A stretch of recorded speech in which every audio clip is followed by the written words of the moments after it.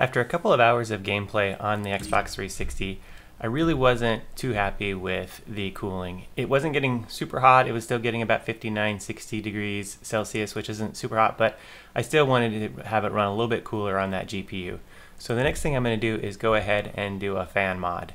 Now, I have this 12 volt DC fan that I pulled off an old Pentium uh, CPU years and years ago. It's just been hanging out. So I'm going to try to use this one. It is important that you make sure you use a 12 volt fan uh, for this mod. And my plan is to actually go ahead and remove this fan and mount it right here over the GPU cooling. And if you take a look in a previous video, I actually have pre-drilled holes in that area. So this CPU fan, when mounted, I'll probably zip tie it up onto this to pull the airflow from the top and then over that GPU cooler. Now I don't really want to actually modify the board itself. So what my plan to do here is go ahead modify the fan. I think if I go ahead and pull up one of these stickers here,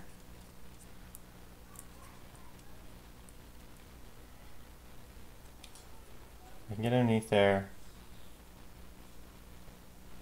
and just solder two new wires in parallel on this fan. So I'm really just pulling the same voltage off the fan and directing it over here. And both fans will continue to run.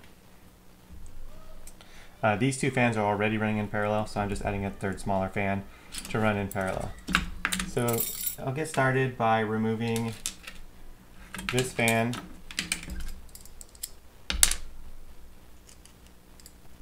from the previous heatsink.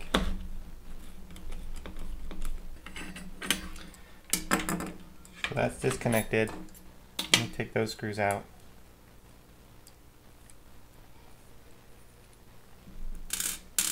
And then I will go ahead and you see I don't I won't have it sit directly on there. It'll be sitting slightly above right about here when it gets mounted um, on the case itself. I'll have to figure that out so that it doesn't hit up against that. And then what I'll do is run this around and connect it to the fan. Now, I am going to go ahead and just cut the wire off this connector. I think what I want to do is use this extension cable to give me just a little bit more. So what I'll do is just go ahead and cut this in half, solder this end onto here, and then I will solder the other end onto this wire, and then use some heat shrink tubing on top of that to just give some protection to the wire. So the first thing I want to do is let's just go ahead and cut this wire in half.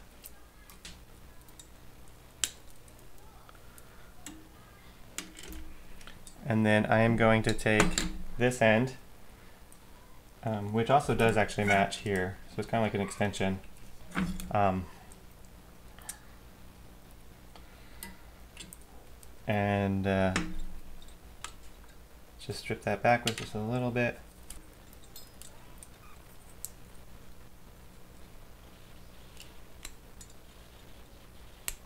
Okay, and there's two. Now taking a look at this, it looks like that the black and the blue wire are connected, which tells me that's going to be negative. So on this side, I will do the blue, uh, this black to that blue, and then the yellow to the uh, brown there. Black being, I assume, the uh, negative side of the power, the electron side. I will move this aside here so I can begin soldering station. I actually am not modifying the board in any way. Get the flex out.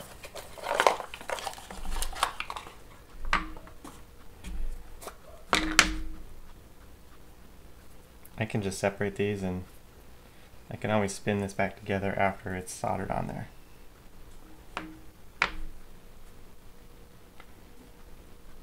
Okay. The first thing I want to do is apply a little bit of solder to these wires that's on there. And since this is fresh solder, I'm hoping that it will be enough to apply in here that I don't need to add new solder to stick those. So I'm going to start with the blue and match that with the negative, the side here on the center. maybe hitting the yellow wire a little bit more than I can hit it from this top angle here this way. Not happy with that. I think I need to redo this wire here. just to go ahead and cut it.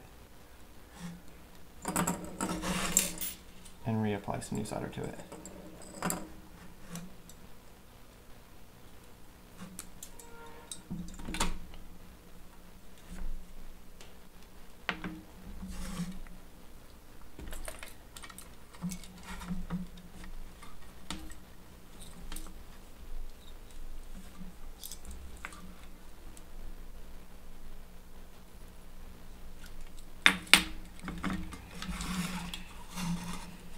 Let's get this in there one more time without touching that yellow. Okay, that is on there now. What I will do is just get a small zip tie. Let's see if I can zip tie this down here. The very bottom. Okay, make sure that there's no additional pressure applied.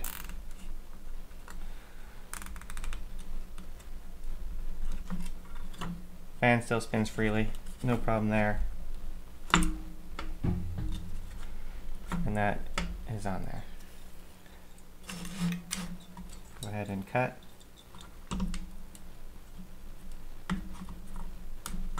And now I have a new connector. Let's replace this sticker.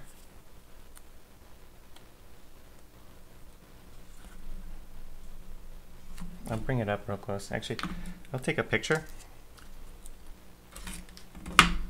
and then post that.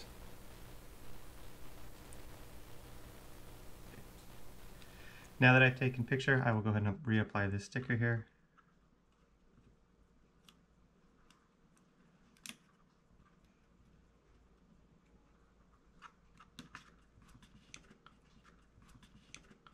And that looks looks good. Let's just twist this wire around.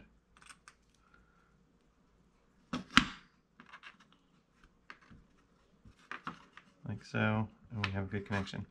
And what I'll do is just kind of run that along the bottom and then back up when it goes into the case again. The next thing is I will go ahead and work on the fan. So go ahead and cut this wire off.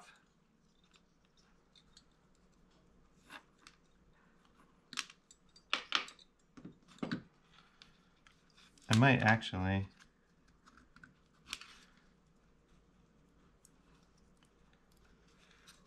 Not have to.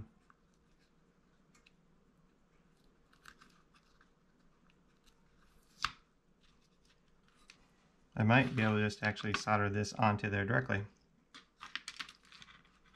and remove this old connector here. Now that I think about it.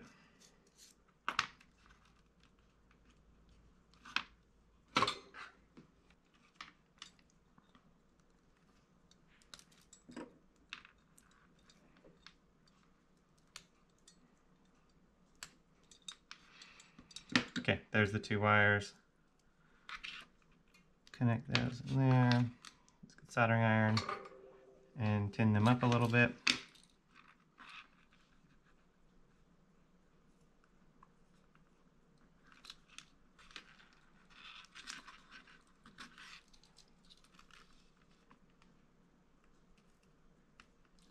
Okay, and then remove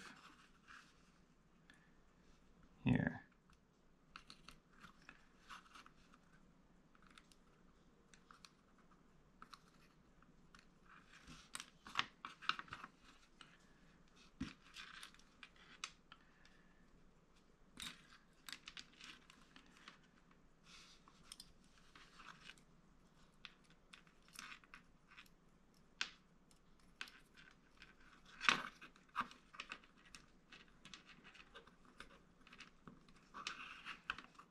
Okay. So we'll put this on this side here.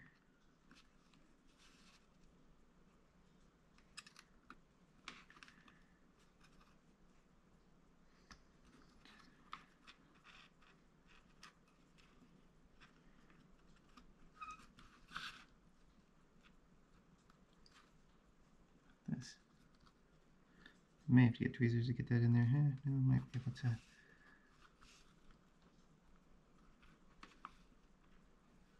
Get that in there without tweezers. Right there. So that is connected. And we're good. Now, I'd like to test this out. So,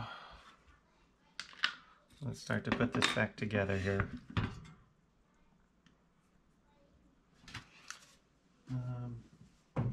Be able to test it without being on the board directly. Make sure any solder is cleared off here.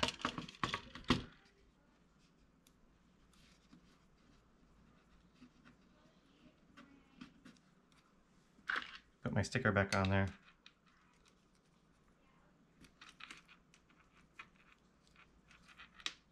It's not going to stick anymore. That sticker is not going to stick. That's okay. We will connect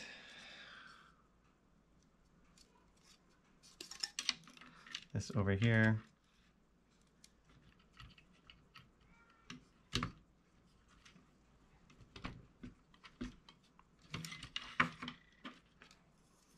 I'll set fan here and plug it in. Oh, that is a different connector. These connectors are not the same.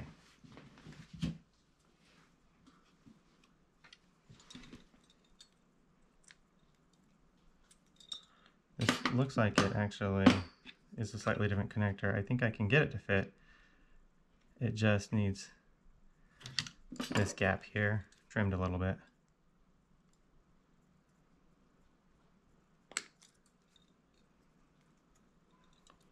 To match. Interesting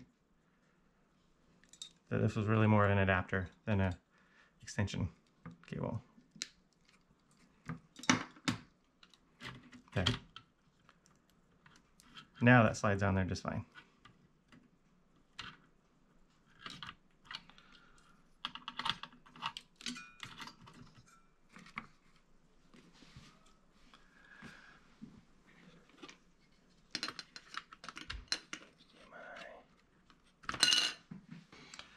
Uh, we'll go ahead and apply power here.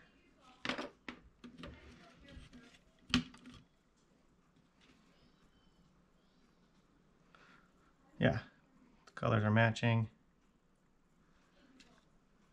Power. Oh, need to put in the control board. Let's power on, see if the fan spins. Oh, it spins. It was not spinning because it was actually hitting up against that. So the arrow is pointing down, so I will see how I want to mount this. Um, if I want to mount that way, although it might be hitting. But it does power up, which is good. I'm going to go ahead and turn it off then. And then the fan stops spinning. So yeah, the next thing I want to do is determine how I want this to mount. I think I want the air blowing down on it. This will go here. Let's uh, let's unplug this. Take this off for a minute. I'm gonna unplug power and HDMI as I start to mess around with this a little bit. And I can remove the fan.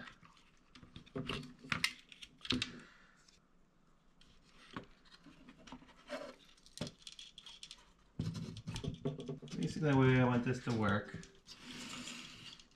Essentially mounted right in this area. It can't spin if it's that way. It does need clearance. Um, so it might be better off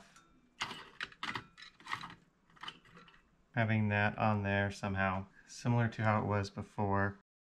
I don't know that I want to damage that. Maybe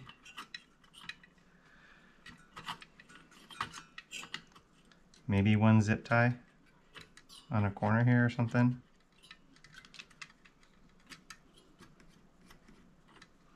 I'm not exactly sure.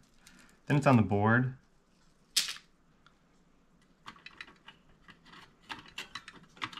Like if I get a zip tie through here, shouldn't compromise the metal there, especially with a fan on it.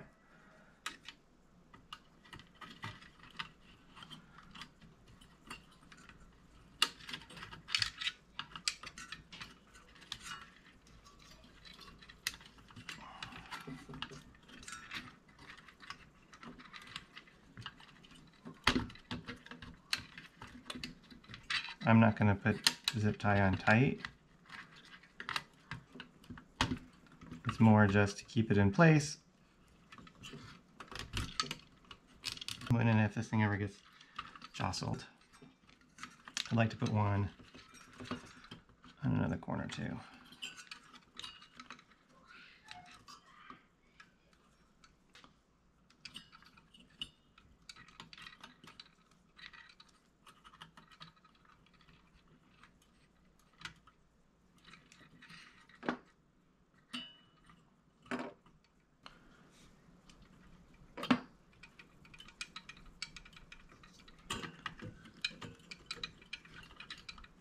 Try this corner.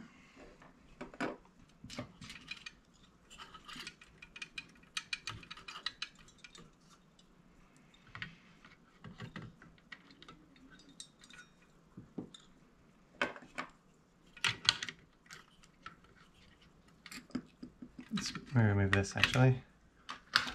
And then I can use some tweezers to get underneath there. Pull that back up.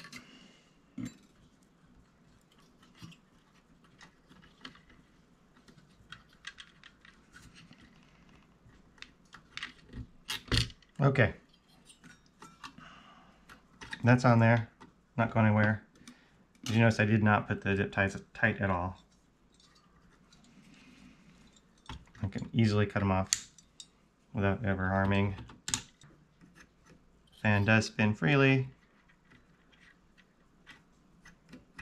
So then I can put this thing completely back together and then we'll see how it runs. I'll run it for another couple hours. Again, I will set the motherboard back into here and screw it all in. Put the fan in. So let's go ahead and stop video. I'll lift this up.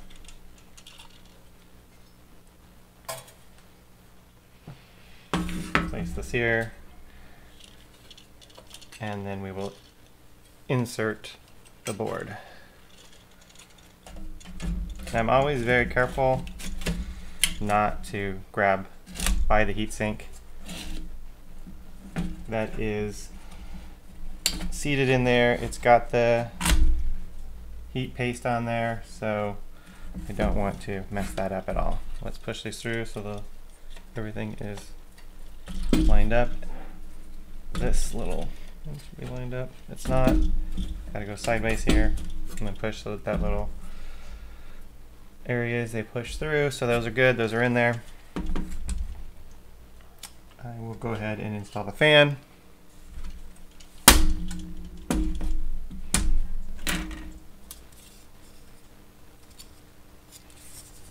First by plugging it in here.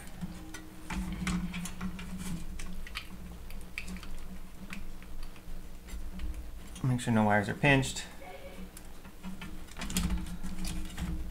I want to route this down towards the bottom and then up like so. This is the new wire I just installed. No wires are pinched in there. Just double check.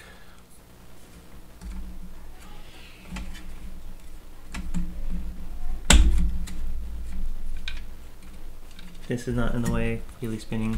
We're good. We're good there. I can now connect these two wires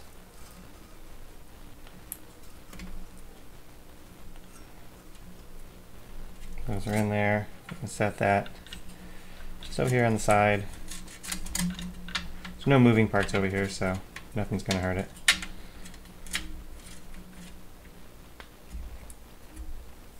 And connect the DVD drive. Oh, um, I want to put the fan drive back on first.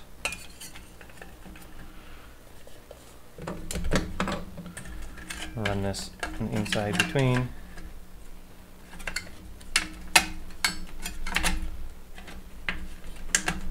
Okay. Fan shroud securely in. Connect DVD.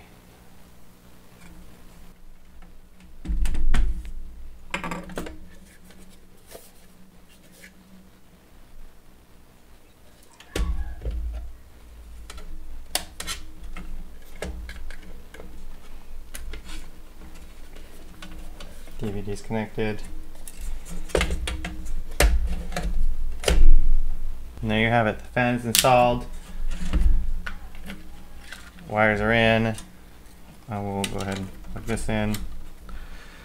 So I've increased the airflow inside of the Xbox 360. Hopefully that should keep the system quite a bit cooler. Thank you for watching, and again, if you like this kind of content, be sure to like this video and subscribe to my channel, and I'll keep making videos like this. Tonight I'm going to play Resident Evil 6 from the hard drive and see how the temperatures hold with the fan modification that I installed. Now one of the best things about having an RGH Xbox 360 is that I can take this game disc and install it on the hard drive and play it without actually putting the disc in the drive now. So let's go ahead and get this game started. I'm using Aurora as the loader here, and what's also great about using Aurora is if I press the home key at any time, it will actually tell me the current temperature. So before I start this game, right now I'm running at 45.9 on the processor and 49.3 on the graphics. So let's go ahead and get the game started, and we'll see how the temperatures hold. I do have a Xbox 360 controller here that I have made modifications to where I installed the Xbox One thumbsticks. Let's go ahead and press start.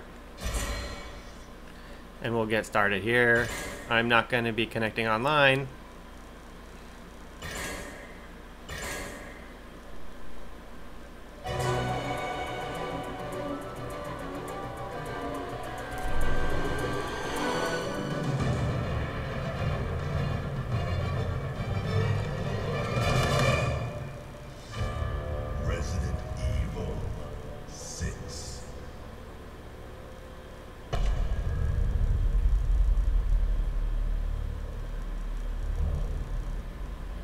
I've already played through the original cutscenes, so I am going to go ahead and just start on my campaign.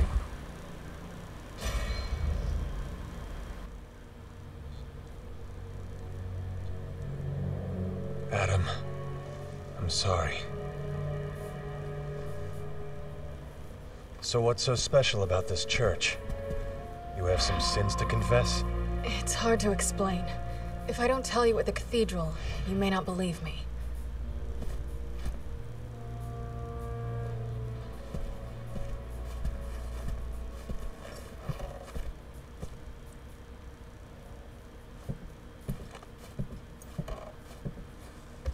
You're gonna tell me everything once we get to the cathedral. Deal?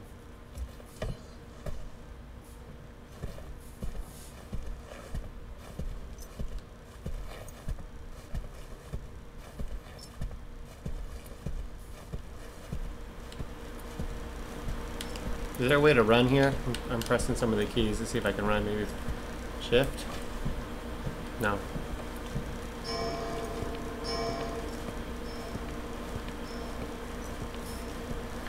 Yeah, I don't see a way to run.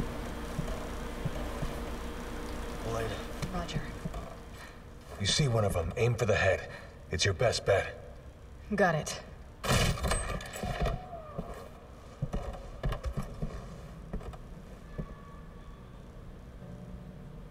This is where the reception was gonna be.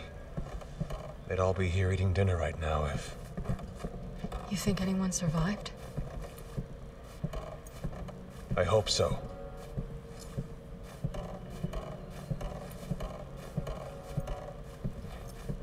I can't believe this is happening again.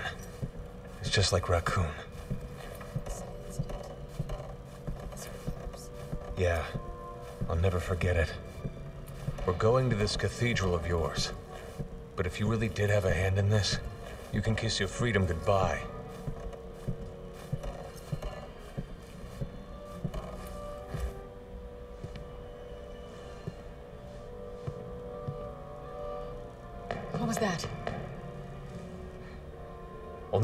Find out. Let's go. It's a bit of a maze. Resident Evil is a puzzle game.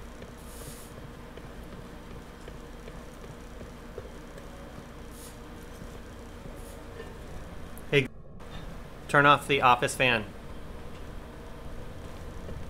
Get it darker in here. Got it. Turning off office fan. There, I can see better now.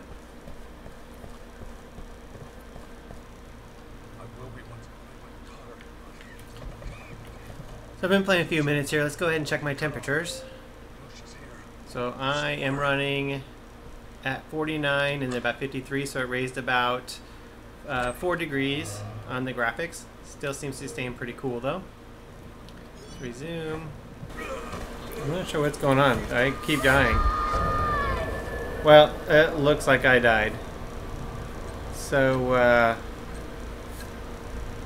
let's go ahead and just log out now. I will continue this later. Let's go ahead and check my temperatures here. Looks like I'm actually cooling down a little bit, so the fans may have kicked in a little higher. Um, what I have done, actually, let's go ahead and take a look here at my fan speeds.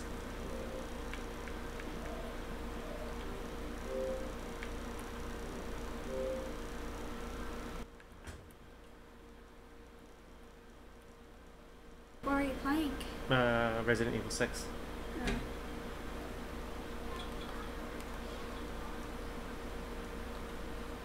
So I'm in dash launch and I have my fan speed set to 80. Which I can turn up and down. Um, I can turn on or off. I'll keep it at 80 though. I think that's a, a good speed. It's not too loud um, for my. I don't sit too close to it, so it's not too loud for me to have to listen to it. Hit save here and I'm going to go ahead and close out of here.